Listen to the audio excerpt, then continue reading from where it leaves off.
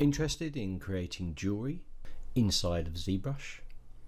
If that's the case, this is the course for you. Jewelry Design in ZBrush 2019 Next Generation Techniques. Now this course builds on my original course I did on jewelry design in ZBrush 2018 and unlike that course I go into a lot of extra details on controlling detail and extruding detail to the correct depths and heights for a particular printer.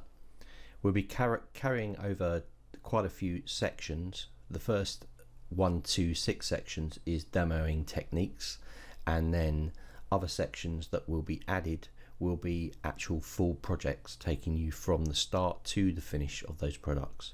So if you like uh, what I'm talking about now, check out um, the information on my website about all of the features and the key features which you will learn during this course.